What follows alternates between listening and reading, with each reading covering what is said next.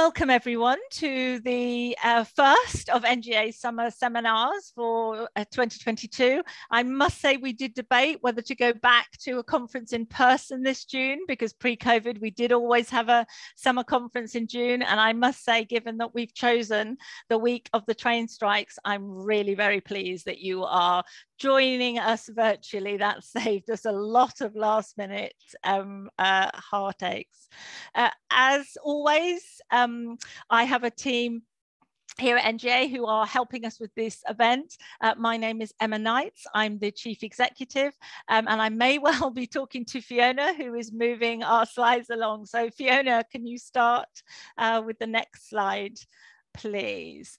Um, this is just to highlight the other seminars for the rest of the week and a few more events that we have this term. Uh, it's usually at the end of the uh, PowerPoint, but I know that uh, I will take this discussion right up to the dot of, of six o'clock. So there you are, a reminder of what else is, is coming this week. Can you move me on, please? Uh, so this is one of what we hope will be a very uh, interactive discussion. We're really pleased to have some uh, expert presenters, but then that will leave half of the event uh, very much um, for a question and answer, a conversation.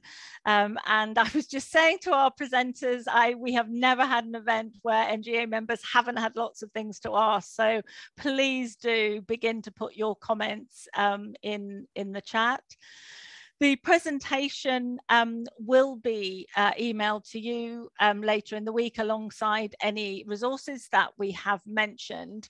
Um, and But a big difference um, is that uh, quite often we don't share the recordings, um, but actually to the summer seminar recordings we do. In fact, last year's and the annual seminars are, are available on the website now for you to have a look back at. So these will be um, shared with the rest rest of our membership.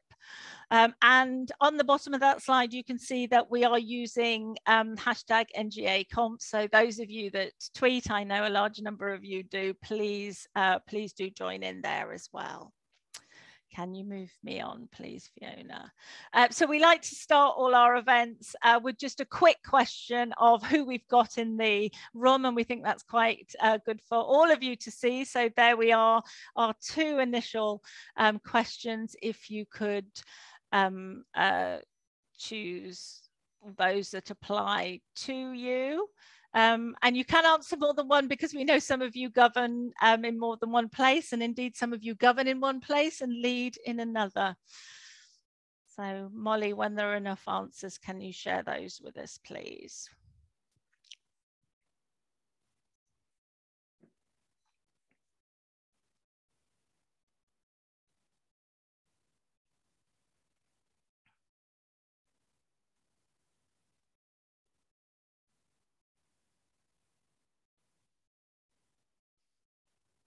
Many of you saying it's sunny. It's very good of you to join us when the sun.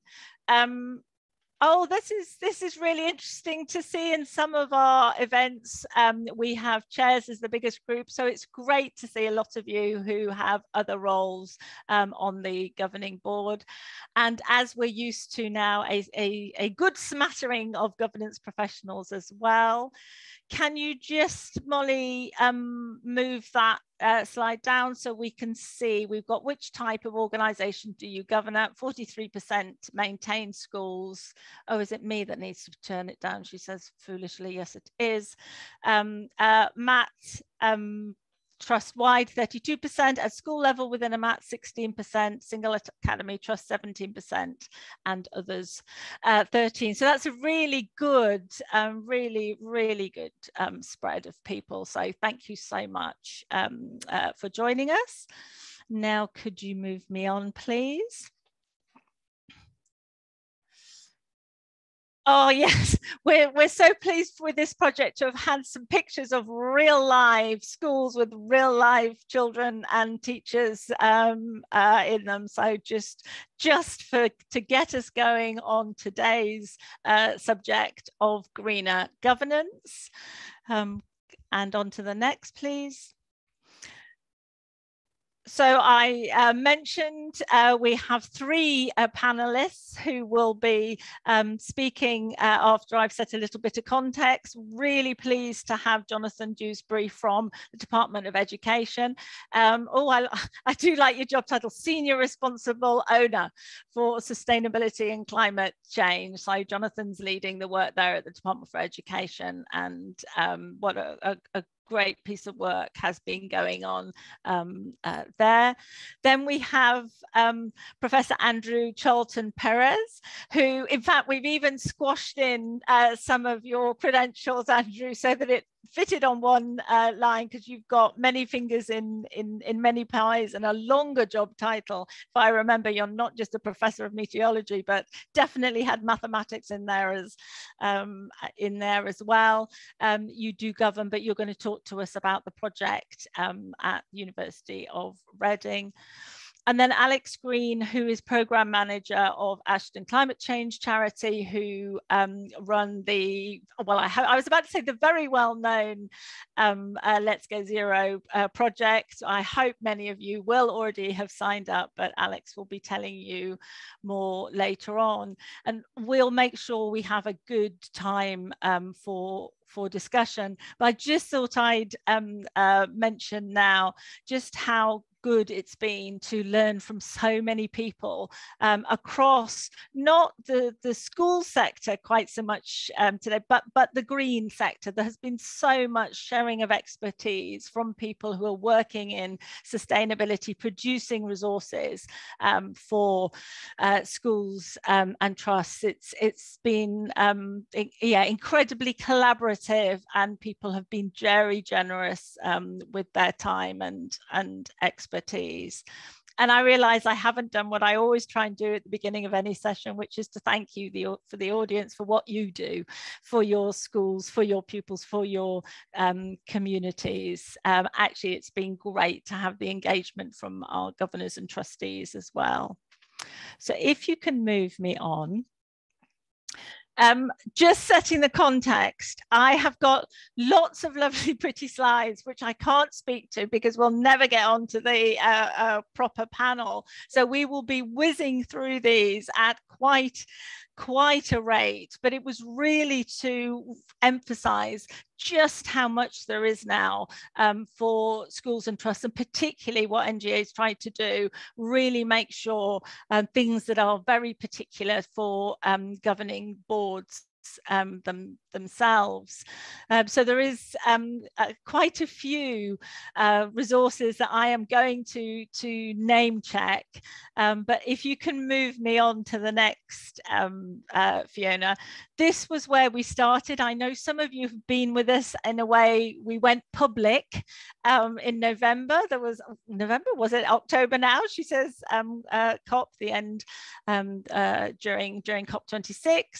Um, hanging our um, renewed guidance on environmental sustainability uh, with a pledge, a plug for greener governance, in which we were asking you to sort of put this um, environmental sustainability onto the agenda of your governing board and um, ensure that uh, a climate action plan was being developed. Some of you may remember in our very first iteration, we called it an action plan, but we were trying to keep up with the DFE there. So once the department strategy was published, we slipped that word in so that we're all using the same, uh, the same language. Can you move me on, please? Um, and one of the things that we've done, uh, I just wanted to uh, give a bit of a name check for the um, National Association for Environmental Education, who've been going on, as you can see from their logo, since 1971, working in this field. And we um, adopted from them, with their blessing, their four C's model um, uh, for considering environmental sustainability. So culture, campus, curriculum, community and the resources that we've produced are very much based on that. We did consider when the department strategy very much highlighting green careers, which is a really great thing to be doing, whether we ought to have a fifth C, but actually we decided that the four Cs have gained so much traction that for now we're we're sticking we're sticking with them. Can you move me on please, Fiona? So this should be a ta-da moment because many of you will know we do an annual governance survey um, and we don't formally publish the reports until um, September. However, we have begun the analysis. So this is um, a figure that uh, Megan Tate has given me. And actually, I should really say um, that uh, Megan from our policy and research team has absolutely been instrumental in this project. She's been working alongside me from the uh, beginning beginning, and many of you will have been dealing with Megan um, during the development of resources. Um, so yes, thank, thank you, Megan, for those. So here we go. This was a question we asked in our annual survey in 2020, and we asked again in 2022 has your school or trust acted on environmental sustainability? And look, the numbers have actually gone slightly down from 44% to 41%. But so I did think of taking out the 2020 figures, uh, but then thought, hey, come on, NGA is not that sort of organization. We are very transparent but actually i think it, it, it, gives me a chance to say when we saw those in 2020 we weren't entirely convinced that they were right because we began having conversations with some of you in order to develop this this project. And we were finding it at that point quite difficult to find schools or trusts who'd sort of moved off first base. So actually i think the 2022 um, figures are much more likely to represent real life because people people now know what's a little bit more about what's um, what's involved. So I'm not I'm not gnashing my teeth about those results. They they seem very reasonable to me, given just how much else um, is is happening at the moment. So could you move on, Fee, please? And and again, uh, we asked people which um, areas you'd been um, working on. So the top one that came up uh, was 37% had been working on campus issues, about a quarter on curriculum, and I'm not being very careful with my language here. Clearly, it won't be the governing board themselves developing curriculum. It will be the school and and and trust um, doing that. 22% on culture, and then 17% on on things that they were labelling um, community. Particularly things that people had done was thinking about outdoor learning, and obviously some of this has gone on for really quite a long time. This didn't just start um, with the latest uh, climate crisis figures um, taught um, uh, more um, in than is required in the national um, curriculum. And lastly, um, recycling was was mentioned uh, quite a lot. Again, something that we know has been going on for for quite a long time. So if we can move on please.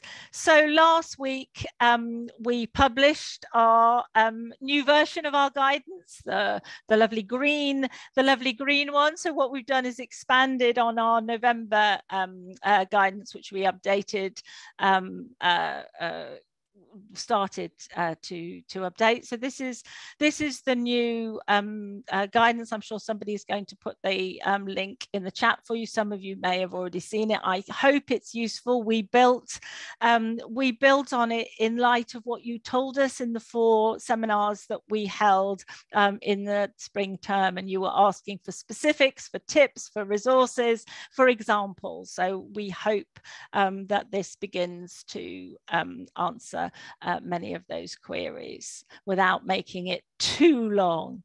If you can move me on, please. That's a plug for our guidance on um, being strategic, because clearly one of the pushes we want boards to do is to be saying, actually, this is something that ought to feature in our schools or trusts uh, strategy. Um, and in fact, that's going to be updated next, um, next term as well, although the uh, process and philosophy won't change. And on to the next, please.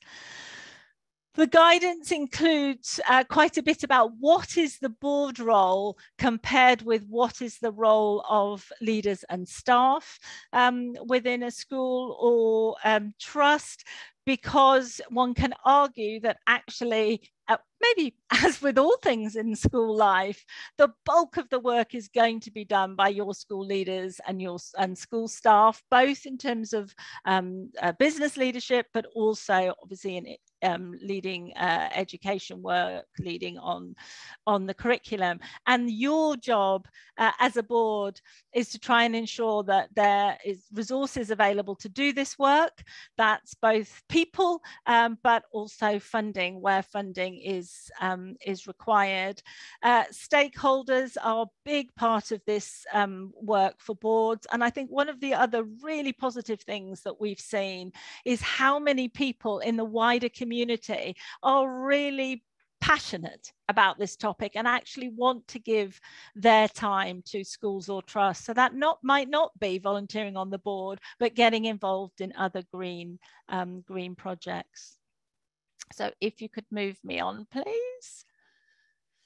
And I'm not going to talk about um, each of those, um, but really just to flash them before your eyes. They're attached to our Greener Governor page, um, governance page as well. But it looks at some of the different things that we've covered in the magazine. Obviously, the DFE strategy, both when it was draft and now that it's um, uh, finalised. Climate in the classroom. Andrew's going to be um, talking talking about that.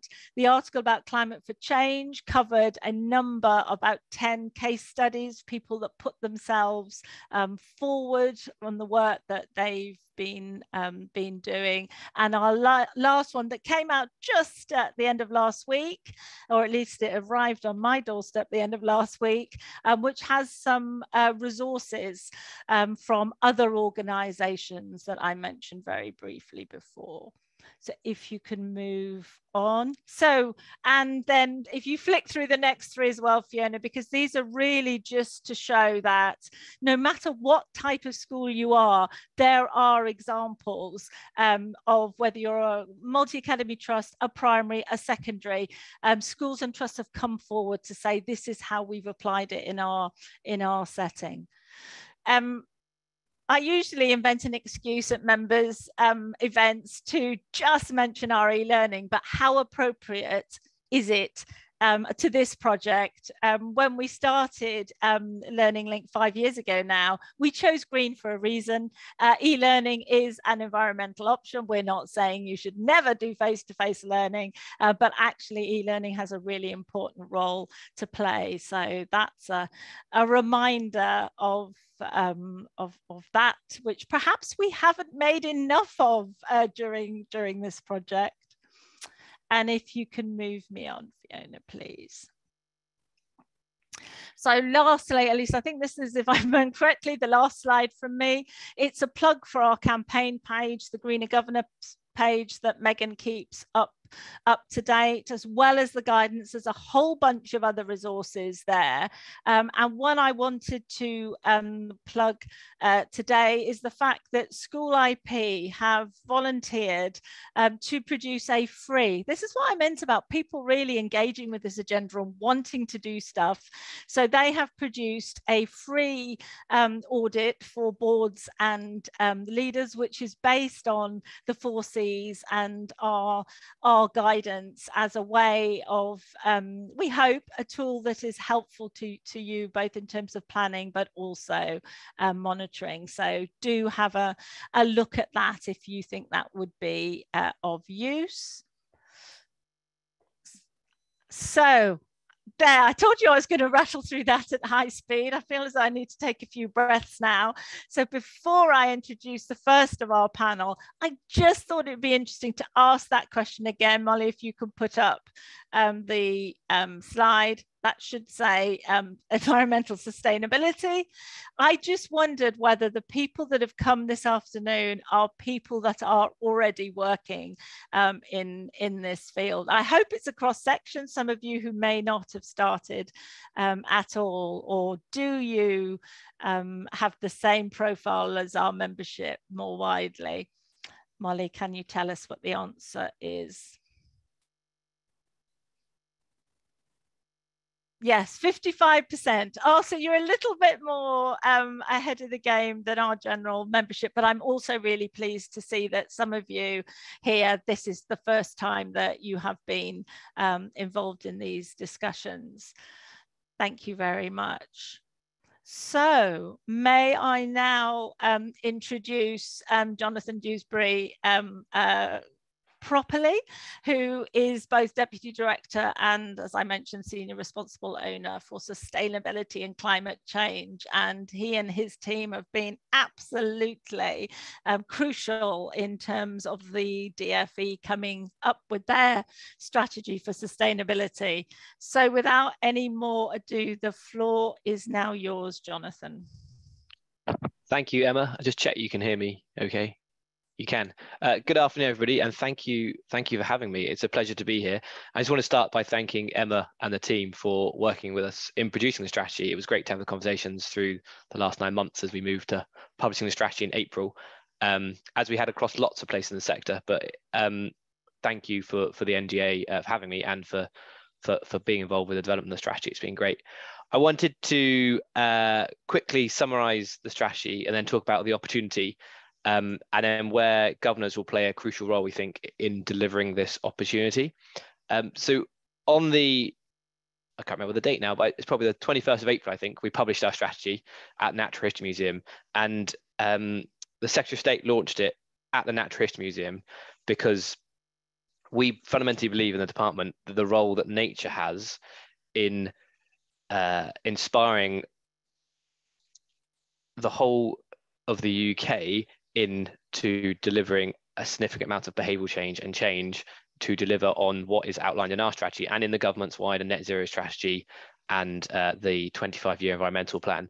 We really much believe that the education is, the, is going to be the key that unlocks those two other strategies. So the, the government's net zero strategy and the um, the 25 year environmental plan. So we've set a vision for the education sector to be a world leader, the UK education sector to be a world leader in sustainability and climate change by 2030 and we know it's a bold ambition and we know we're not there anywhere near that yet.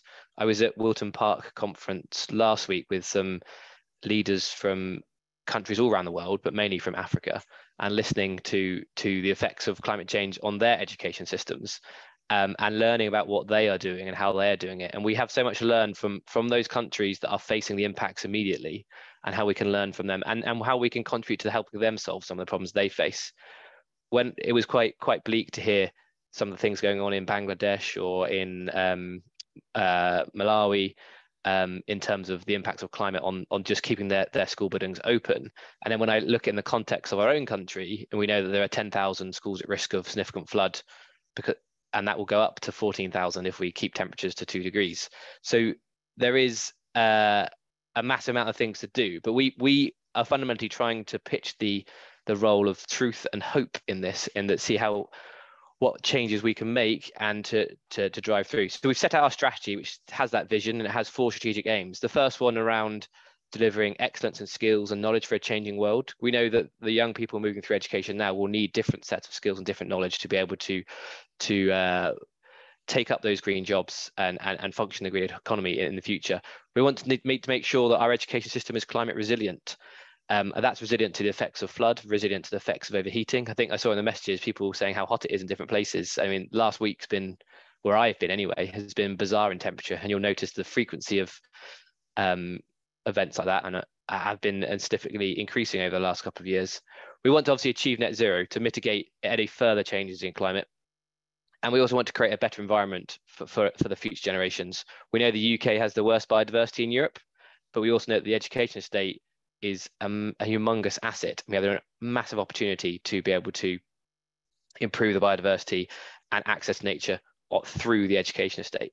And we plan to do this via via five action areas. So one, looking at climate education, two, looking at green skills and careers, three, looking at the education estate and digital infrastructure, four, about the supply chains and operations and how we how we govern and and and and, and, uh, and organize schools, and then five, about how we take our seat at the international stage. So how do we push things we're doing well and how do we learn from others across the international stage and make sure that we really keep the momentum up into COP27. So Emma said at the start So one of the reasons I was at this conference last week was to try and start building momentum into COP27 for climate education, because at COP26 we were very pleased to work with the Italian government, UNESCO, and uh, a number of youth organisations, Mock COP and Teach the Future, and uh, uh, Youth for Climate, um, to put on the first ever event between education ministers and climate ministers and, and got over got around 30 pledges on what they do on climate education. There were notable countries that weren't that weren't didn't make a pledge about climate education, some big big economies that didn't make a pledge. And so we want to to push that moving forward at COP27, demonstrate what progress we've made in the UK and, and to hear about what progress other countries have made and, and push those pledges further. And so our strategy is out there and hopefully some of you have digested it but i just want to spend a couple of moments talking about the opportunity. There are there are 16 million people young people in education 2.4 million in, in, in adult education. The size of the education state in combination with that number of people the education state i think schools alone is is twice the size of birmingham.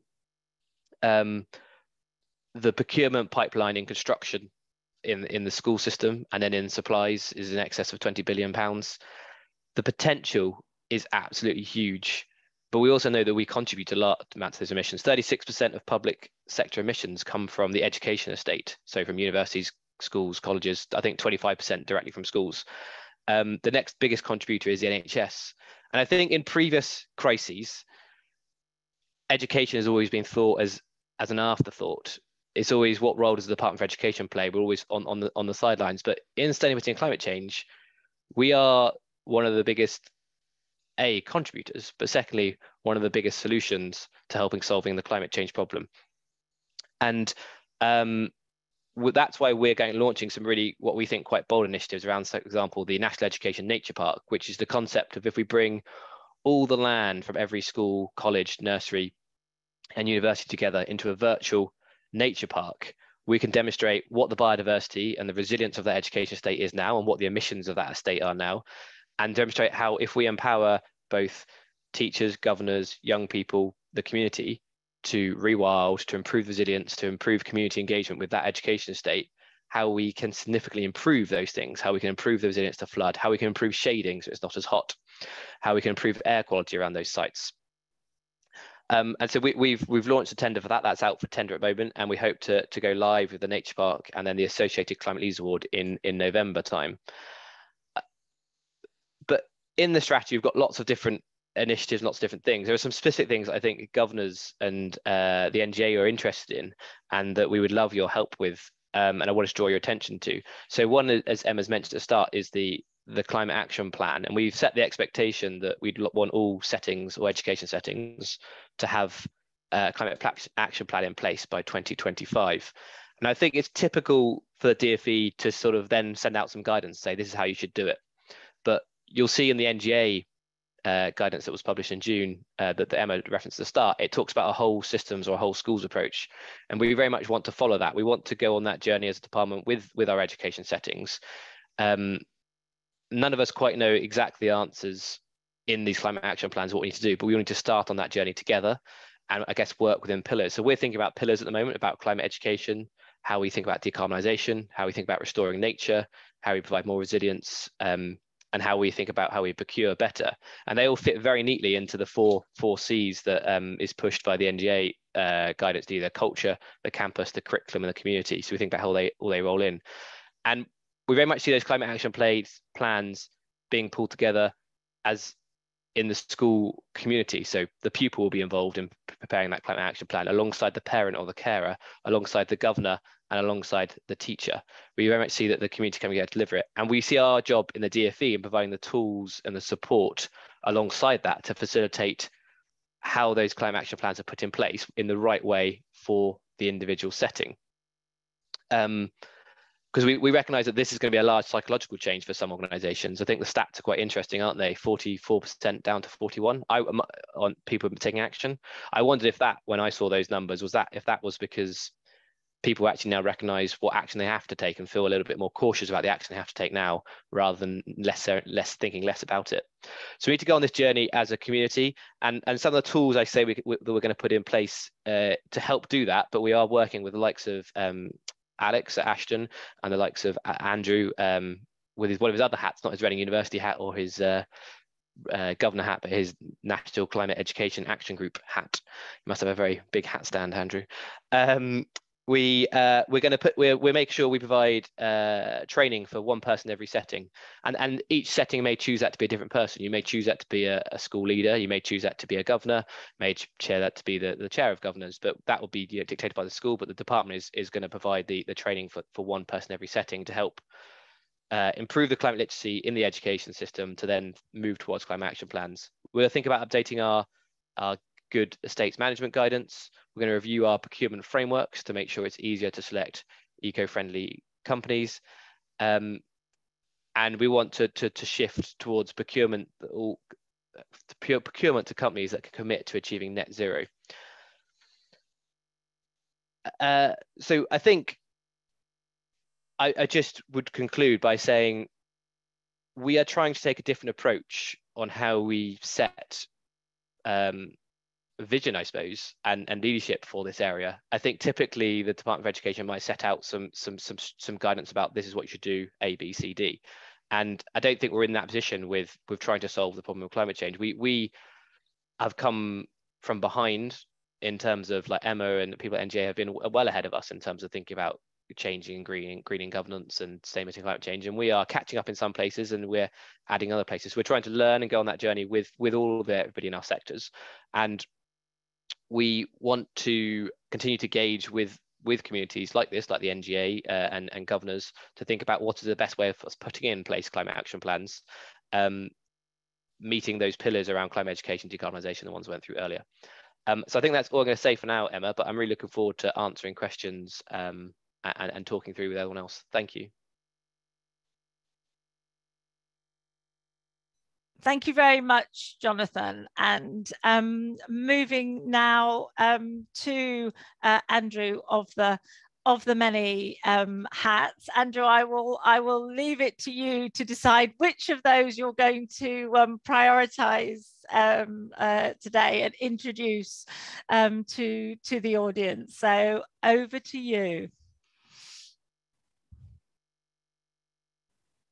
Oh, and I think you might be on mute, which I just did as, as well. How about now? Is that any better? Yep, I can now. I can now um, uh, hear you. So, and so can Fiona, who will be moving okay. your slides on. Wonderful. Thank you. Apologies. Um, yeah, Fiona, if you could move to the next slide, please. Um, so yes, um, I, I, do have many hats, but in many ways, this is a kind of interesting um, example of, of a couple of those hats colliding uh, to, to torture the metaphor even further. So yeah, I'm a I'm a professor of meteorology. I work at the University of Reading, um, leading three departments, of which one is a is a world leading um, climate science institution in itself. Um, but I also, in my in my evenings, I'm a, a, chair of governors at a local primary school, Radstock Primary School. Um, so I wanted to talk a bit about some of the work we've been doing um, at the University of Reading and, and, with, a, with an organisation that we're leading called the, the National um, Climate Education Action Plan Group. Um, so next slide, please. So um, Emma has already introduced the, the Greener Governance Framework, um, and as an NGA member, I'm really, really delighted to see this. Um, I, am going to focus very much here on the kind of curriculum aspect, but, but I think absolutely, as, as John has also described, um, there is so much interesting work to do here, which which fits across these these different four Cs, and um, they, they shouldn't be viewed in isolation. So there is a lot of great work on curriculum which can benefit from work on your on your school or college campus, uh, from work with your community. And so I, I want to be really clear out at, at the start that I I'm just focusing here because this is my kind of um, area of expertise, I suppose, but I really hope we'll, we'll talk about them uh, holistically later. So next slide, please. So yes, so our, our route in here was really thinking about uh, on, the, on this area of curriculum, so this area of, of climate education, um, there was so much good work um, already going on, and I'm sure many of your schools already engaged in some of that work, thinking about how to weave elements of climate and sustainability education into, into curricula at whatever level uh, your organization works at. but we felt that there was a real need for kind of bringing together a number of organizations. So um, both the DFE, uh, Let's Go Zero and Alex and, and, the NGA and Emma and many other organizations that, that we had connections with. And so we did that in September 2021 um, and um, came up with um, a, a, very short list of actions that we felt were critical for delivering better, better climate education. Um, and, and you know, we're really pleased to, to see that, that many of those align very well with, um, with, with the DFE strategy. Um, and so if you want to find out a bit more about that, um, you, can, you can click on that link uh, there. But what I wanted to just talk about today is to just talk about a few of those actions and think about how they're relevant to, to governors. And I'm really using my own frame of reference here as someone who is a governor. Um, but if we move on to the, to the next slide, please. I think I'm, you know, what's really great about this event today is that there's a lot of opportunity to talk. And so when I was thinking about the different actions and how they relate to, to governance, uh, I was thinking actually I probably wanted to ask lots of questions of all of you. And so um, I hope that, that in the discussion today, we'll have the opportunity to kind of get into some of that uh, detail and think about how some of these things will, will work in practice. So just go to go through four of those actions, which I think are really relevant here. So I think the first one is that there is a real pressing continuous professional development needs here for staff. Um, that comes across when you look at surveys that, uh, for example, Teach the Future or other organizations have done, um, talking to teachers. And there's, there's a huge willingness here, I think, from staff at all levels in, in schools to, to work on, on climate and sustainability, but a real concern that uh, they have the skills to, to do so. And so I think it's really important as governors that we, we continue to ask questions about how that continuing professional development is going to be delivered. There are many options out there. The, the Carbon Literacy Organization is, is a great uh, one who can, who can help with that. STEM Learning have some great um, professional development uh, work for teachers and many other organizations do as well. And so one thing we're doing in our group is trying to bring some of that together to, to kind of give a, a menu of options for, for schools to think about. I think absolutely vital, the third action on our list is about encouragement and empowerment. And I think the leadership of governors here is, is really vital. How do we facilitate our schools or trusts in developing climate action plans? Um, what support do we need? You know, there's a different continuing professional development need for us as governors in the same way that, that we have um, have needs in terms of our, our other responsibilities in, in school and our other leadership tasks. But, but we need some help with that as well. So what is it that we need? Um, how, how are we going to get that um, and access it? I think action four, um, and I'm sure Alex will, will talk about this as well, is that um, having, having someone in school who's leading on this area feels really critical to us because of its joined up nature, because it needs to join across those four C's. Because when we're thinking particularly about the curriculum, what we're not necessarily thinking about here always is a focus in science or geography or maths. Um, it's it's how some of that that information is is woven through the, the things that we that we teach our young people. Um, so how do we how do we make that role um, really important in school? How do we how do we incentivize it? Um, what do we need to, to make that sustainability uh, lead really kind of tangible and something that that teachers and other school staff really aspire to? And then I think that the, the final action that I want to highlight here is about working with professionals. So one, one of the things that um, I think is, is perhaps not so commonly known is that the, the UK is really a leading climate research and action um, country. It has, has many um, people working in this area. Um, and there actually is a huge desire amongst that, that community, amongst the people I know, to do some of this work because they, there is a wide understanding of the importance of, of education in, in helping us to, to deliver against our climate targets, adapt to the climate change which is already coming. coming. And so we want to know kind of how, how we can join those two things together. And I'll talk in a second about one initiative that, that we're working on that will help to do that. Um, so next slide, please. Um, so yeah, so um, one way that we're trying to do this, and it's by no means the only way, um, is, is a new climate ambassador scheme. So we launched this uh, at the same time of the launch of the um, of the DFE strategy. And the idea really there is to unlock this expertise. So we have around 25 or so uh, institutions nationwide who are, who are signed up to this scheme, including the Met Office, many universities, National Centres for Earth Observation and Atmospheric Science. And already in just two months, we have 66 ambassadors signed up, uh, people who, who want to give their time, want to give their expertise to, to schools and colleges. Um, and so we, I would really encourage you to have a look at that scheme, and put in a request for an ambassador. Um, what we're imagining here is that those ambassadors do, do a whole range of things that are associated with developing climate action plans and improving climate education in schools and colleges. So that's not just coming and talking to teachers or delivering CPD, which is something they could do, but it may also be coming and, and briefing governors. It may also be coming and talking to, to large trusts and, and, and thinking about how this expertise can, can help you to develop your own action plans. Um, so next slide, please. Um, so just to go slightly off topic, I, one of the one of the questions that Emma suggested might be a, might be an interesting one for us to address later on in the discussion. Um, is kind of this idea of how we engage governors on boards, where there's perhaps a reluctance to think about this as a as an important topic. I know as a as a governor there are huge numbers of, of different competing priorities which, which happen in school, which which we have to deal with. Um, the most recent example, of course, being COVID.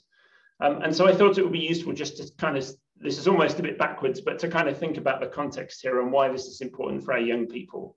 Um, so, so what I really wanted to highlight here, this is, this is a figure from the latest Intergovernmental Panel on Climate Change report, and it shows the different uh, projections of global temperature um, from 19, or the, the, observations from 1950 to 2015, and then the latest kind of global projections under different scenarios, so different ways in which the, the world economy and society might develop.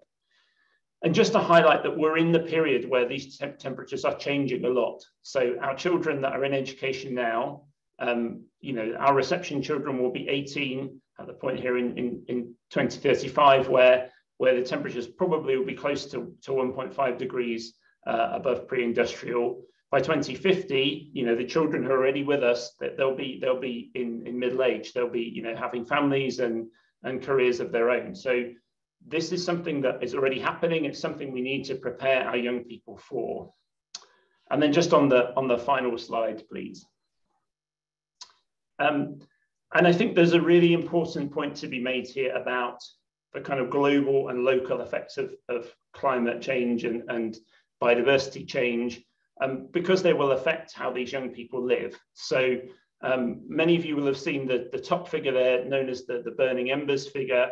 Um, so that's from, a, from another IPCC report, which looks at the impact, uh, the, the differences in the impacts on various uh, measures between 1.5 degrees of global warming and 2 degrees of global warming. And the darker the red color there, the, the stronger the impacts. And so you can see all the different areas there which might be affected by our changing climate.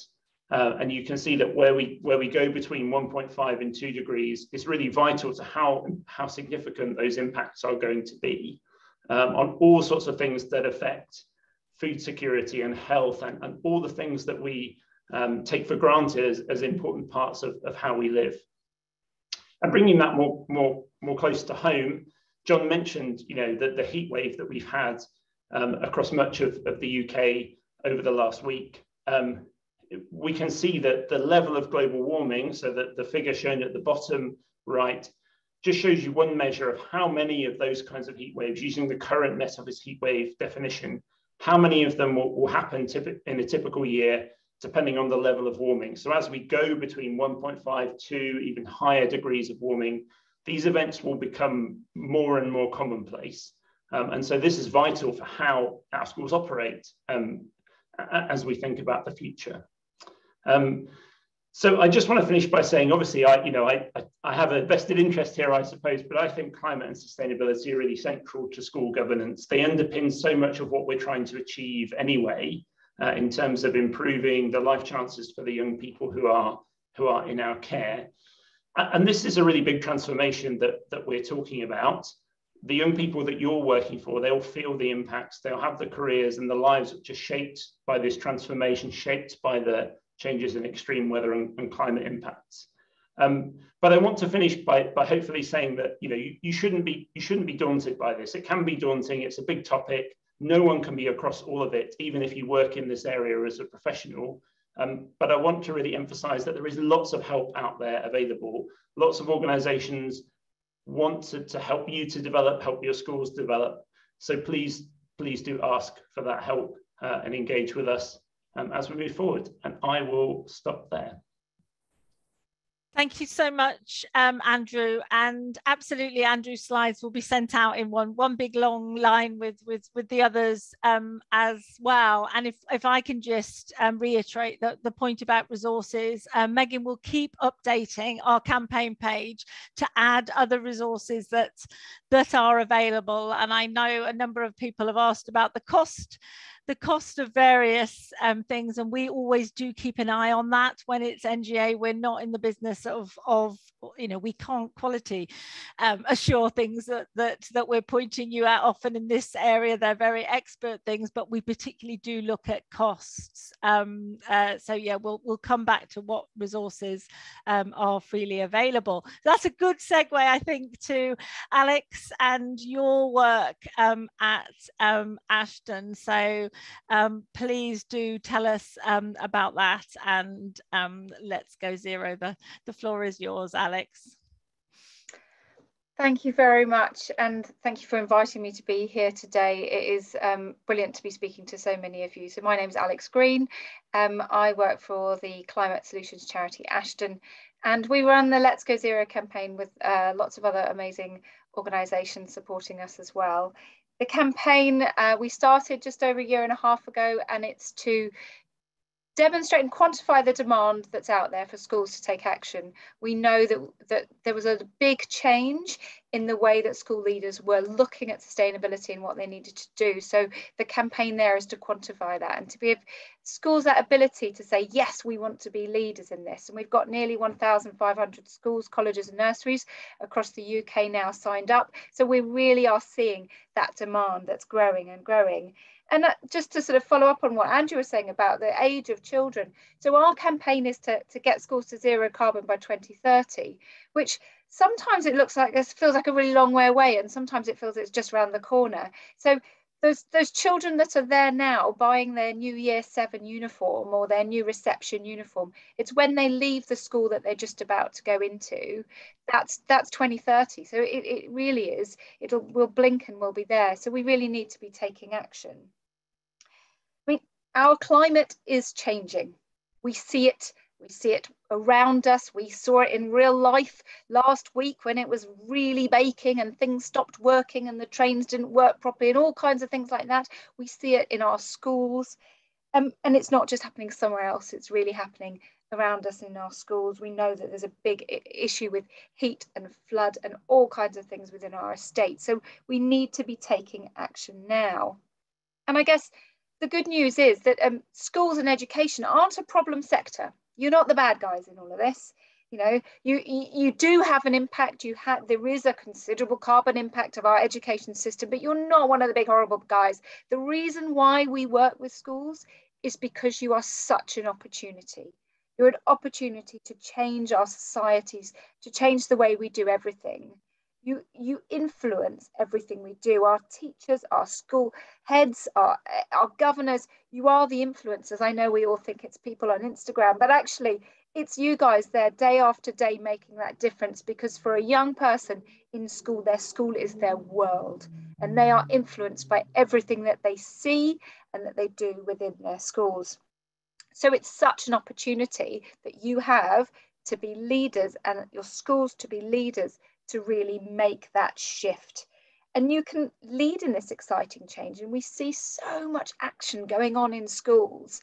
We see such wonderful things going on, and not because they're being the schools are being made to do it, but because they want to. Our leaders are really, really pushing that in the schools. And our young people, I mean, they were marching in the street, waving placards and shouting at us to get on with it. So we can see that that's made a difference. And we can see actually that there's going to be quite a bit of demand for action coming ahead. thanks to the, the, the great stuff in the strategy from DFE and the things are changing. We're stepping up our game and our expectations of what schools should be doing and can be doing. And it's really for our governors to lead how schools can be ahead of the game, not playing catch up and sort of behind it. So when you're looking at that strategy and you're reading the strategy and thinking what needs, what do I need to do? So being having a sustainability lead in your school is an absolute first step. Get on with it find that person, find that leader, recognize actually what you'll find is there's probably somebody doing it already, but they're struggling without recognition. So find that person and really embrace that. And where you need your climate action plan, don't wait to 25 to do it. Get on and do it now.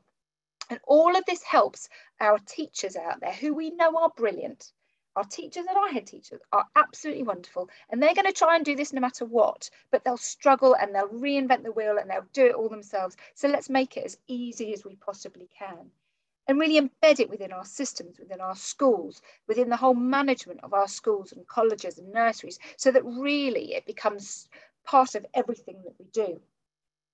And just to emphasize what, what some of the others were saying is that there's so much out there. There's so much help already use the help that's out there already. Don't go reinvent the wheel. We don't need any more wheels here. We just need people to do what already exists. And most of this isn't rocket science. Turning the heating down a bit is pretty easy. So there's a whole lot of things that we can just start doing straight away. Now, when I talk to schools about what they can do, I always recommend the Transform Our World Climate Action Planning tool. That is a brilliant tool to get you started on what you can do. It's free and it's easy uh, use it. it. I will put the link in the chat. It's there for any any school to use. So do get on and use that. And I also talk about three areas where you could make it make a difference. The action that you take, your voice, and your money. And actually, I'm going to focus a little bit on the voice bit. So you as governors have a very strong voice. Use it. Be demanding. Ask for change within your school. Expect better learn about what's the difference between a ground source heat pump and an air source heat pump and a LED light and all those things. Find out all about it. Question, have those discussions and lead. Use your voice to be that voice for change. So if your school or the schools that you are working with are not already signed up to Let's Go Zero, get them signed up. Get them to be part of this movement for change and have their voice counted. Um, and I look forward to all the questions that are coming back. So over to Emma again. Thank you so much, um, uh, Alex. And actually, I'll ask you the first before, um, while in fact, Fiona, you can take down the slides and we'll have the, the four of us, the four of us there. But Alex, there was one very particular one while you were talking that you might want to just start off with, which was how does Let's Go Zero and Eco Schools work work together? Tell us, tell us, tell us a bit about that. Because obviously, I think imagine there'll be a lot of people here for whom you know they're familiar with Eco Schools and their schools may well have been part of that for really quite quite a while. Absolutely, they, they fit really well together. And um, Eco Schools are one of the organisations that supports uh, Let's Go Zero. So Eco Schools is a is an accreditation. It's a way that you show what you've done. So it's about you take your action and then you get accredited, and it and it's it's your badge. It's to show what you've what, the action that you've taken in your school. So really good. If you're doing stuff, get a get your green flag eco schools do it. It's a really good way to get recognition actually for those individuals in your school that have been toiling away getting that stuff. So definitely recommend eco schools. Let's go zero. It's a campaign. It's it's it's a it's a numbers game. We need to show the demand the ambition that's out there within schools to be able to help help people like jonathan use that knowledge and use that demand and be able to to put in put in place new strategies and policies and changes. So they work together, but they're quite different. So Eco Schools is, a, is an accreditation, it's a badge, and uh, Let's Go Zero is about um, showing your demand in a quantified campaign. Lovely, thank you very much. So I've been sort of scanning the questions that we come in, and they they sort of bunch um, uh, bunch together. Um, so I don't know whether to to start with the with the hardest because um, you may well have um, uh, seen there was very one really good to the point question that came in early on is if we want to make most impact where do we start first? What should we be um, prioritizing? So I, I i think that's a really tricky one but but i can quite see why that was asked. So um, i don't know whether each of you wants to um, wants to have a go at that. Jonathan should we, we start with you first Um, I was going to defer to Andrew on this as the expert, uh, but I will happily have a go, um, and then Andrew can correct me. Um, I, um, I, I think the best place to start is um, having a conversation, and and uh, because uh, and that's what we did. Because when I, when I, I I spoke to my line manager said what are we doing about COP26 and he said well why don't you put on a TED talk and I, the first thing I did is I go talk to a young person and see what they would want from the Department for Education at COP26. And, and so I think the very first thing you should be having a conversation with with your pupils, with your parents, um, with your other governors in your school, uh, and saying, right, what, what do we want to do about this? Because we're going to have to do it together. It, it's not going to be so. We're absolutely supporting identifying a sustainability lead, but if you identify one sustainability lead, they will become isolated in a silo, and everyone will think mm. it's their problem. Oh, Mr. Smith is sorting out sustainability and climate change for us. We don't have to worry about it now. Uh, it's got to be a full systems approach. So the very first thing I do is have a conversation, have a school meeting about it, have have um, have a board meeting about it, get it on the agenda, and that's what I did in, in the department. I, is the first thing I did. I, I got it onto the DFE board and said, where is this? Where is this in our risks? What is the operational risk to the education system from climate change sustainability? And we didn't have it written down. Yeah, you've got you got flu, a vac- um, pandemic, flu pandemic, is there as a risk, an operational risk to the education system, but it wasn't there. And now we have it there in our published risks. It's up there, the risk of flood, overheating, um, etc. Thank you. Um, Andrew, do you want to add add to that? Yeah, I mean, I fully I fully endorse that. I think I think having a conversation is is a really great place to start. I think um, what, what you will find is that the action you need to take as a school is very different depending on what you've already done. So um, as Alex said, and, and, I'm sure she'll comment on, you know, there are many schools where people have been working away on this, that there are kind of shining lights in the darkness who've been doing brilliant work on this already. And they may have already done lots of the actions that you think immediately that, that you might need to take. So talk to them, find them, first of all, talk to your young people, and I think there will be brilliant examples of teaching. We, we've seen that already. We've talked to some schools where lots of great teaching has been embedded already, or it might not be in your school. It might be in a school across your town or city. It might be in another school in your in your in your trust. And so, coming back to Alex's point about not reinventing the wheel, there is tons and tons of good practice out there. It's just about finding it.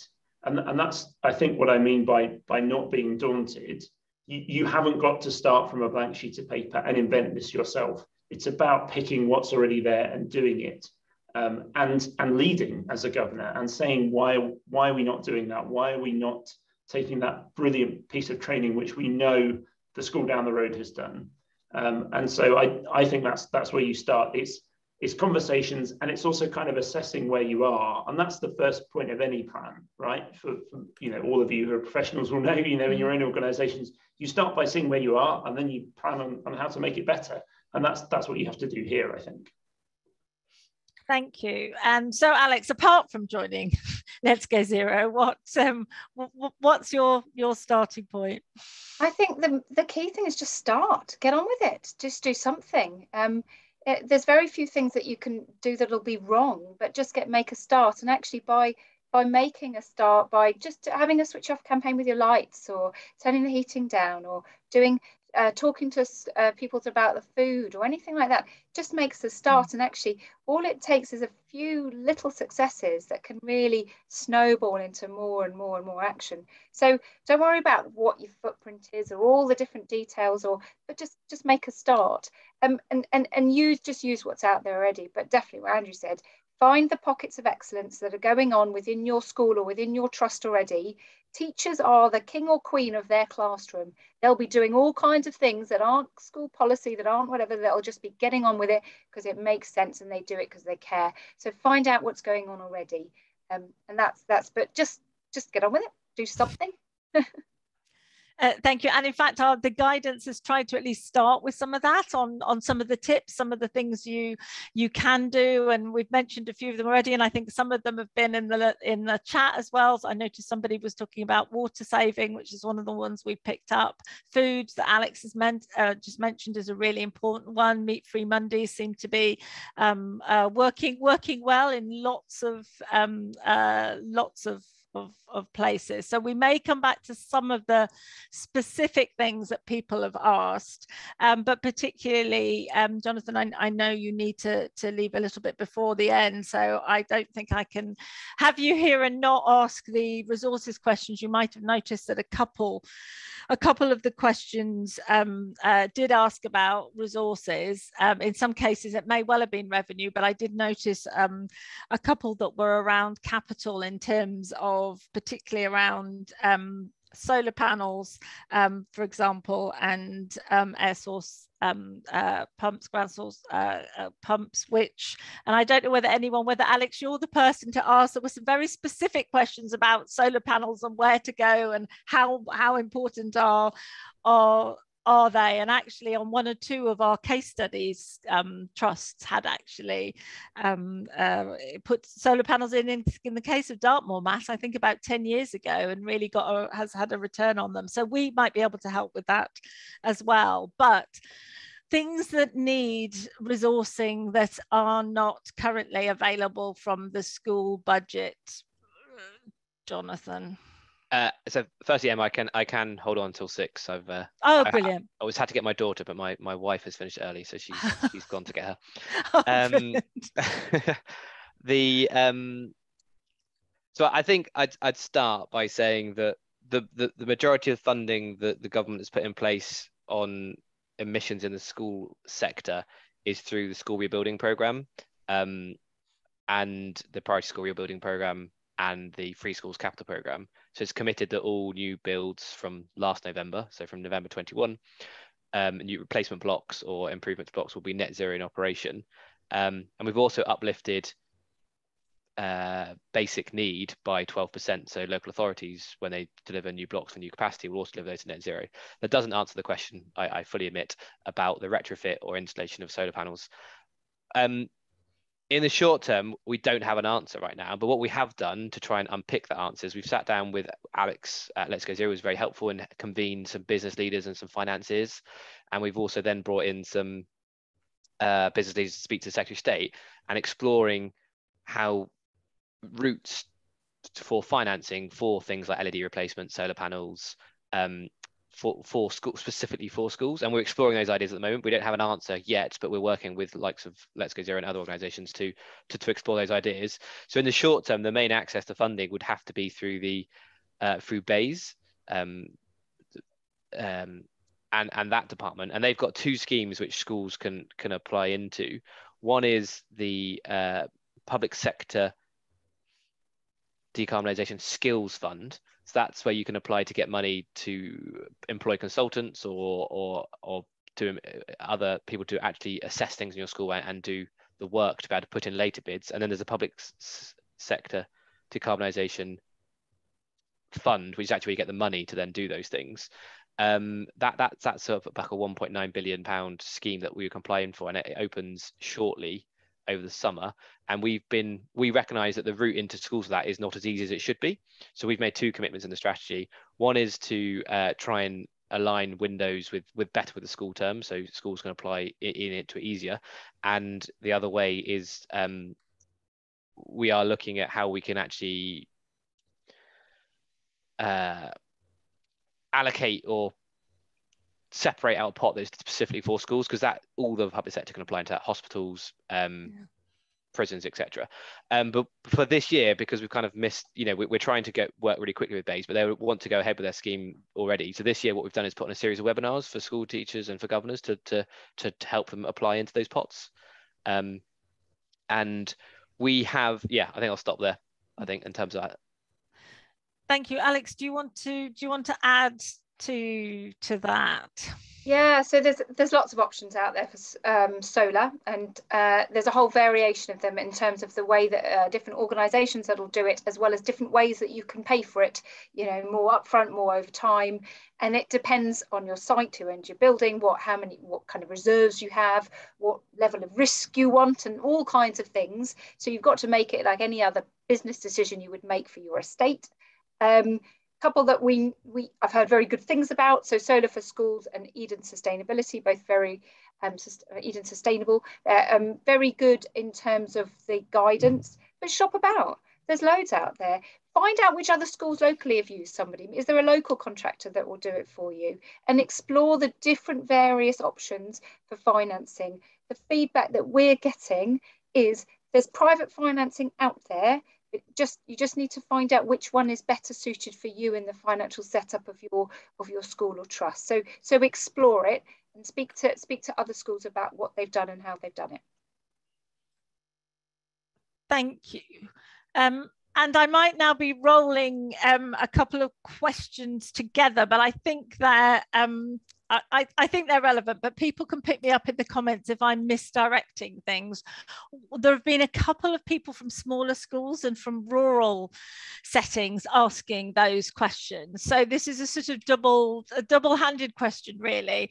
Um, we we have been really aware, Megan and I, when we've been doing this work over the last six months, that it actually the context you're in does make a difference. And quite often we've been, had urban schools really jealous of actually the land around rural schools or just their ability to, to get to wild wild places more more more easily. But i think that other point about size and working together because the sort of thing you're talking about a lot of small schools only have a very little bit of a school business manager. So there's a real issue there in in terms of capacity. So you know as nga we're really encouraging people to do that through networks of school business managers. If you're not part of a bigger trust that can help help you um, uh, do that. But I just wondered whether um, any of you had sort of thoughts on that whole, you know, urban, urban, rural, what works differently. And somebody also then raised the question about actually, which I think is similar, is about localizing the global, that some of this stuff is at global level and how can we really make it work, work best locally. So Andrew, as I didn't give you a go last time, do you want to start, start this this time on pick out pick out from those list of issues I, I mean I, I, mean I definitely think that, that the collaboration is is really important here so um, the, the collaboration in groups of small schools which I'm sure that, that those schools have to do anyway to, to be able to address some of the other things that, that, that they need to do um, is, is really vital here. It comes back to this idea of, um, you know, this is a this is a global problem that we have to address with global solutions. And so we, we need to work together to do that. There are organizations you know let's go zero for example is a great organization which can help to um, connect schools together and has examples of best practice which other schools in in local areas can can draw from. I, I think the, the the challenge is that you know both urban and rural schools face face huge challenges here right? In that um, you know that there are dimensions of this problem which are specific to urban areas around air pollution and uh, overheating risk being larger um, and, and those kinds of things. Um, there, there are other challenges for, for rural schools uh, in terms of, of, flooding or in terms of um, the, the, the needs to have emergency power and all, all these kinds of things. And so I think just by, by working together is really the only, the only way forward here. Um, and you know, to kind of draw back to the the climate ambassadors point, you know, if you've got a group of schools together, you know, the ambassador doesn't have to visit you in person, right? They can they can do lots of this online as as we're doing now. So um, take all those opportunities that are there. I think is is my only piece of advice, really. Thank you. And Jonathan, I think I saw you putting your hand up. Uh, yeah, thanks, Emma. I just want to talk a little bit about the National Education Nature Park because we feel like this will be a useful tool in helping link sites. So I spoke at the start about we want every site to be considered as, as one virtual national nature park, and we, we hope that that that concept will demonstrate physic on, on the on the interface how you can get to other sites or link up between sites, how you can access national forests or other locations. So if you are in a really dense urban area, to show you how actually there is probably quite a lot of green quite close to you and how you can get to it and how you link to it. Um, we want that that National Education Nature Park to also share best practice. So I think Emma, you spoke about the, the plethora of resource that is out there. One of the things we set in the strategy is to try and we want to set up an accrediting body to say this resource mm. is right. This is the, the things you should be trusting, and, and, use the nature park to be the conduit to get to that material. So it's easier for business leaders, governors, and and and school teachers to choose the right material, um, given their time is so limited. Um, and as part of that um, nature park, we are exploring um, how we can have uh, particular funds that can can look at different areas. So we're hoping there'll be something around targeting particularly difficult urban areas through the nature park and how they can start on their biodiversity journey. And um, and, and, please say that Reading University are one of them in our champion areas, but we're working with um, 11 now universities as champion areas who would want to work with their with schools around them. Um, and then uh, Reading is, is, very fortunate that has, has a large amount of grounds, but we've got some city centre universities are also showing how they are greening and wilding and um, bringing in other other schools around those places. Thank you. Alex, did you want to add to that? Yeah, just to come in really. I mean, yes, we all know that it's it's not fair. You know, some schools have different different uh, opportunities than others and different sites and access to nature and all that. So so sort of we have to sort of go past that. But a couple of points where where there are opportunities for help. So make sure that you are really making the most of them. So your local authority, again, it's one of those ones where it's not really fair. Some of the local authorities are wonderful. They have such great champions most of them are getting better actually. So even if you tried six months ago or a year ago to engage with your local authority, try again. Um, Church of England, if you're Church of England schools, there's a lot going on there. There's a lot going on with Catholic schools as well. So do sort of get, speak to the your faith um, organisations if you can, if you're part of that. Um, and then, yeah, just to just to emphasise what Jonathan was saying about the, the stuff that's going on at DFE, so the Education Nature Park and the Climate Leaders Award and all that stuff that's coming up. There's some lovely things on the horizon. Keep your eyes open, be part of it. Don't wait and wait and wait and be the last one on the list. Get volunteer to be the pilot school and the test case and the this and that. You know, be be be one of the leaders that can really um, do some, some exciting stuff. And then also just just find out what your other schools locally are doing what you know google it see what schools are look in the press find the examples um, ask people this isn't rocket science there's so much stuff that you can do that you can get started and doing um, so just yeah, find out who else is doing stuff. Thank you, Alex. And that was something else I noticed in the chat that a couple of people um, mentioned work that was going on. I think Oxfordshire has, um, has uh, you've been doing a, a, lot there for some time, but also Sheffield Learn. I, I, I, I noticed you've got things in going on in South Yorkshire, which I have to admit, I don't think, Megan, correct me if I'm wrong, we've particularly um, included regional and local things in our resources. Um, I was sort of, yes, hoping there might be somewhere else to go, but it will be something maybe that we take away from this um, uh, discussion because um, and uh, Jonathan in terms of that accreditation that that will be done in the future I think that will be really really helpful there was another comment in the in the thread that I would have asked you um, if you hadn't mentioned it, which was how do we know what's good? I think Carol, you you said in the questions we're getting an awful lot of stuff from people, and we don't know which is the stuff we ought to follow up on. So I think that that is really helpful. That's the other side of the coin isn't it? From the fact there are so many organizations in this space at the moment when schools really need to prioritize their time it's quite difficult to know which which is the ones to to to start with or continue um, uh, with, which perhaps relates also to the um, uh, questions around um, leadership. And we talked, you've mentioned it already, uh, Jonathan. In fact, I think probably you all have in terms of leadership um, capacity. And we've obviously been quite keen on the idea that one should have you know at least two leads because the the campus stuff is very technical and very specific in terms of the school business manager or the trust um, chief operating officer and then a lot of the educational and community things perhaps um, uh, lie somewhere somewhere else. And we don't i think it was you andrew that said you know we don't really want this to be siloed in one body um, who then oh it's fine they're doing it. And similarly i noticed there was a question about should we have a link governor or a link trustee. Again, some of our case study schools or trusts have done that.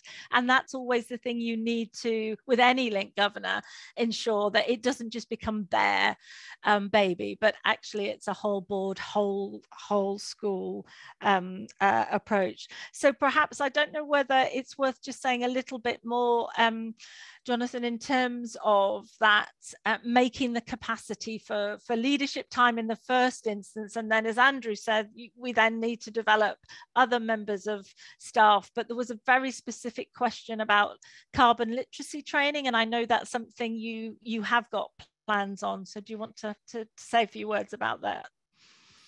Uh, yeah, I'll start with the car, the climate literacy bit. Um, so there are lots of offers already out there for carbon literacy training, um, uh, but we will work with providers to kind of offer to the to make it clear to to schools and and to, to governors what is the right or what we what we'd endorse as climate literacy training.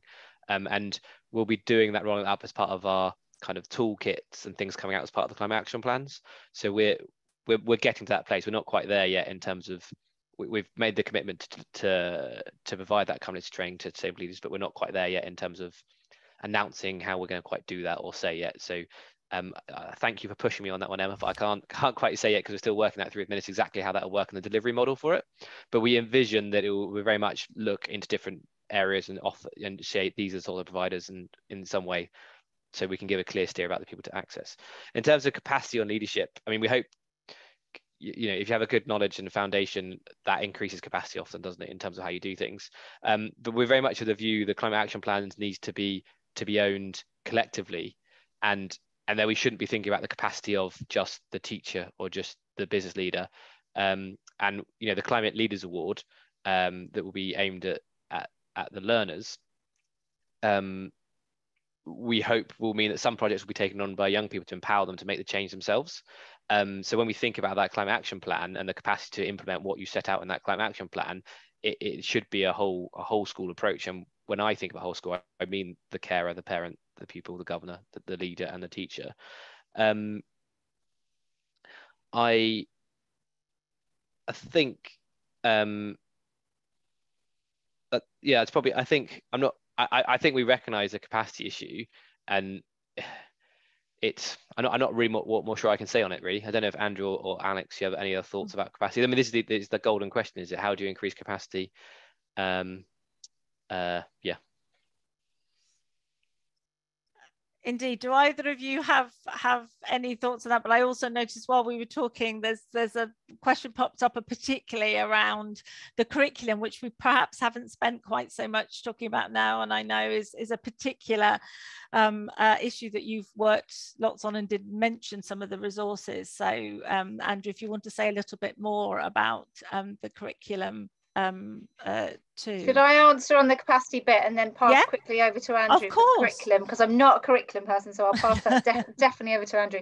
Um, so the, this is this is a very big challenge. This is a very big task. We have complicated estates. We've got many many buildings. This is this is going. This is you know um, this is a marathon, not a sprint. But it's not about saying right how am I going to do all of it. It's about how am I going to take the first step, the next step, and, and how am I going to make make all the different changes? What's that roadmap that I'm going to have that starts with the first things? The, the phrase I use a lot is if not now, when? And I don't mean that as in, oh, well, if you're not going to do it now, when are you going to do it? It means, okay, these are some things we can do, then we'll do them. And if the things that we can't do yet, we, when, when do we think we might be able to do them? So planning it out, planning it out long term, and that's the best way to, to, to embrace this rather than looking at the enormous colossal task we have. Uh, and so Alex's mm-hmm. view just prompted something else for me to think about. So one of the things, and Andrew might go into more detail on this, but so one of the things that the the National Climate Action Group are doing is, is Andrew mentioned, the climate ambassadors. And we in the Department for Education are supporting that because that does add a, a, technical capacity in some places to some of these schools and so they can call upon it. And, and we will continue to work with the climate ambassadors group to, to understand how we can scale that up and, and, and make that. So we feel that is a route which we can add capacity. We're still working through the exact model of how we do that at the moment with, with Andrew. Thank you. Yeah, I mean, I, I, I would just want to build on build on those things. I think um, perhaps an interesting direction to, to go in terms of building capacity within school. I mean, I think the climate ambassadors that is definitely our vision is to is to bring that to bear on the problem and so um, you know, I'm really, really keen to, to continue conversations with, with John on that. I think within school, um, for staff, it's about having things that recognise their, their role, right? So, you know, like, like all of us, um, teachers or other school staff are motivated by their own career development, recognition of that career development, and and having skills which can then transfer to, to other roles. And, and you know, teachers and, and school staff move around amongst the education system um, in the same way that, that all of us do. And so I think thinking about how that's recognized nationally is really important. So what, what is it that by doing this work, I can say as a as a professional, you know, I've I've contributed and used that for the next stage in my career. I think that's that's a key part of, of this development. I think to come onto the curriculum part, um, I think what's interesting about this problem, and I, and I apologize for kind of talking briefly about, about myself, but um, you know, these are such multifaceted problems that they involve learning for all of us. So, so as I say, I, you know, I work in a department which is a world-leading climate science department. We started talking about what we do in terms of our food for events. How do, how do we have the right food that's consistent with our the messages that we're talking about in terms of climate? How do we make sure that the milk in our fridge helps to contribute to, to this problem. And that is not easy for us to solve, right? So we had to do some learning. I had to do some learning to be able to make those kinds of decisions. And of course, that is going to be, be true of everyone, but there is there is a joy in that learning and there is an upskilling in that learning. So I feel more comfortable having that conversation with people than, than I did five years ago when we when we started thinking about that. And I think for young people, this is such a brilliant opportunity. So it's not just formal curriculum, although we want um, some of this content in formal curriculum. That, that model that, that John talked about, which is problem led, which is young people being involved, involved in some of this, learning the skills about whether it's an air source or, or ground source heat pump, which is the right thing for their school, um, is, is so, so great for them. And it, it speaks so much to the development of skills and the jobs that we don't imagine yet that those, those, those young people will need. A really interesting opportunity, I think, is through things in the secondary sector for things like the EPQs. So I had an interesting conversation with colleagues at Pearson um, last week thinking about, well, our EPQs are a model for how we can get some of mm. this um, into, you know, into, into more schools and into more young people's lives, um, linking to the Climate Leaders Award. Um, and so I think I think the co-ownership is so is so so important there because it doesn't it means that it's not siloed. It doesn't um, have this problem where if you have the great person in the school who leaves, they take all of the great work that you've done with them. It absolutely has to be a whole school approach. It has to be owned by everyone, has to be part of everything you do. And, and this is where the governor is so important because they're the person who helps to set those whole school mm. thinking approaches. Sorry to talk for a long time, but yeah. That's... No, that's um, uh, that's great, and I think there are so many. I think, as you said earlier, there are so many things that cross over the the four uh, the four C's. And I have to say that I've learned huge amounts over the last six months, and I still think I'm only beginning on on a, a lot of this. And that's why I think uh, you know upskilling the staff in particular who will be going to do this, they have to go through that same sort of confidence um, building and, and and understanding the um, uh, yeah the scope and what is reasonable and what what what what isn't to do. And I did notice a couple of people have um, uh, mentioned primary um, curriculum. And I think we've got a couple of links from our camp page to various um, uh, things such as the UN um, uh, uh, resources, but I'm sure there are others. And again, one of the um, uh, one of the schools that is is one of our case studies was was a primary school led by, and it often is started by somebody who's passionate about this, who devised various ways of bringing um, project learning into primary um, uh, primary schools. So some of this is people sort of in front of the curve, isn't it? We're probably at the point now where what we're trying to do is mainstream this that it doesn't rely on a passionate person on the board or a passionate person in leadership, or sometimes actually it's been a teacher, a geography teacher, a science teacher, a, a primary teacher who's taken it on and grown um, with uh, uh, with the the, the topic. There's a couple of questions, I suppose, given this is a governance seminar, it's not surprising, which really come back to um, accountability, I, I suppose. Uh, a few people saying, where is Ofsted in this? Um, and the answer is, I don't think uh, Ofsted's anywhere in this, but perhaps that's uh, the wrong way to to put it, but it's also quite contentious. We've debated it at some of our forums, and we know only a minority of leaders and governors actually want Ofsted to be the the um, sort of driver on on this. But it might be that someone on the panel wants to talk about it. But there was also another question about um, monitoring. I now forget the exact word that, that that we use, but obviously, as the board, if we're going to say let's put some resources into this, how do we know that we are getting, you know, the right the right amount of um, bang for our buck or just you know moving in in in the right direction. Um, there are an awful lot of people i think which that 2020 result showed who've done you know bits whether it's eco schools or you know recycling projects or this that or the or, or the other. And it's how can we take that to the next level? If we're going to invest how, how do we measure it? And i know this is a really hard question that i wouldn't be able to answer if i was i was on the panel but every governing board is going to be thinking about this right? We've put it into our strategy now we need to know what it is we're going to be looking at to see whether we're making any any progress. So i'm conscious of the clock. Um it's only five minutes um uh, left but if you can um maybe do two things at once both sort of leave everybody with a final message but if you've got any wisdom on um, uh, monitoring um, impact then it would be it would be really helpful to to share that. Um, I don't quite know who, who thing that's so hard. Does anyone want to wave at me to start? Oh, well done, Jonathan. Sorry, Andrew. I think I passed his hand first. um, so I, I, think I'd say two things about monitoring. I think that there will, it, as a society, if we're going to move towards net zero, there will be, I, and this is my personal opinion now, there will be legislation I imagine that will come in to mandate reporting of emissions. And, and in Scotland, you already see that it's mandatory for public sector, so education settings to report emissions. Uh, so what we are doing in the Department for Education ahead of that that trend is we are working out a standardized way to help how education centers can report emissions, scope one, scope two, and scope three. We've started with the university sector. We've got a, project, a pilot project with them at the moment, and we'll get, and then we're thinking about how we do that in schools and colleges. So I think one way of monitoring there'll be a, a longer term monitoring of emissions, but I think that's really scary about monitoring emissions, and people will then get a lot get lost in that rather than taking action. So I guess the thing I would think about is when we think about putting our climate action place plan, plans together, is thinking what action based monitoring you can do. So we are going to do this less or we're going to do this or we're going to do this. We're going to we're going to explore sustainable urban drainage.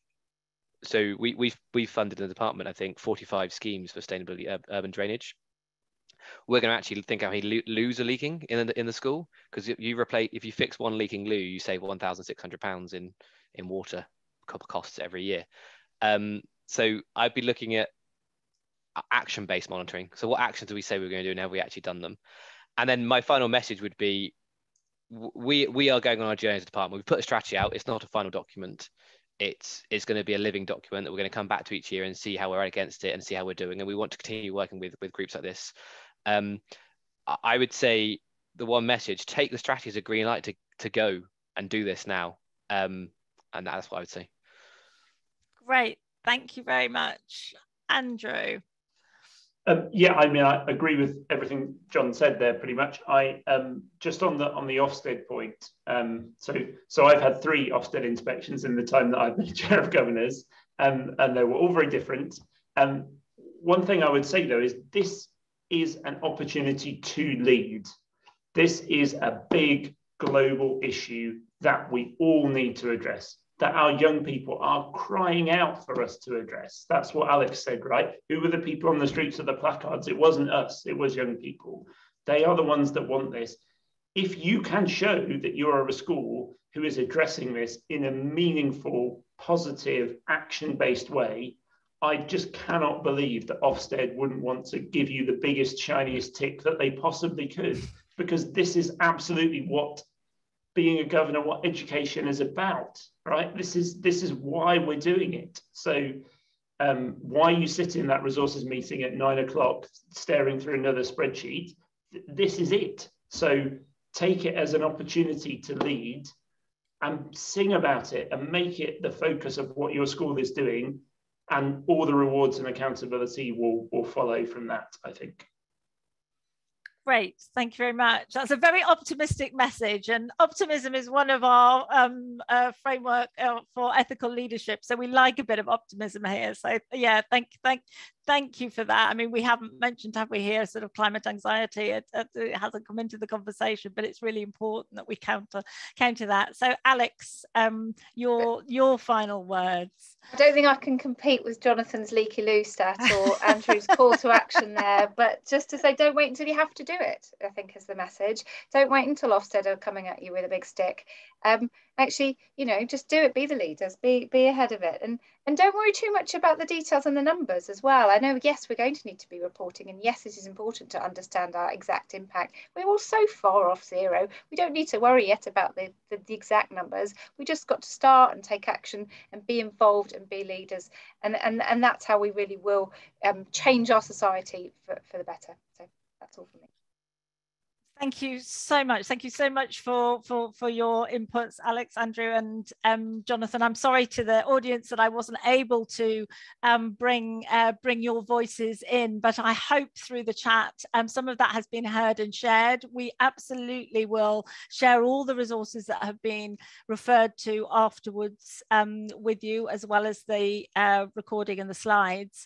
Um, and I think that's we still see that as you know one of our jobs over the next few months is to keep compiling what resources are there. We'll be ever so pleased when somebody is actually quality um, assuring them um, later on, but also how some of these agendas go together. We haven't necessarily talked about sort of, you know, energy saving at the moment. It's one of the big issues that um, governing boards are talking to us about our costs. So some of this stuff actually moves us in a good, uh, a good direction in terms of, of cost savings. And um, one of the other pieces of work we're working on, which has a link, is that um, Steve Evans leads our work on um, financial efficiencies and resourcing, and we're tying up these agendas there with his new guidance on procurement. We'll will have an environmental sustainability element in. So we're hoping to be smarter on that in the way that you all with your whole school approaches and whole trust um, approaches uh, will be.